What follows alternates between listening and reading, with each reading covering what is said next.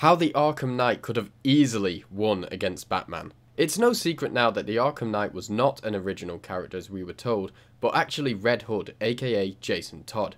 Mind you, that was never really a secret, was it? You knew it was him. He spends the entire game telling us that he knows everything about Batman, including how he thinks. He knows that Batman would never kill, so all he had to do was man the tanks. All of the tanks in the game are controlled drones and it makes zero sense for the plot. Jason, you have an army who coincidentally spend a lot of their time unarmed for some reason.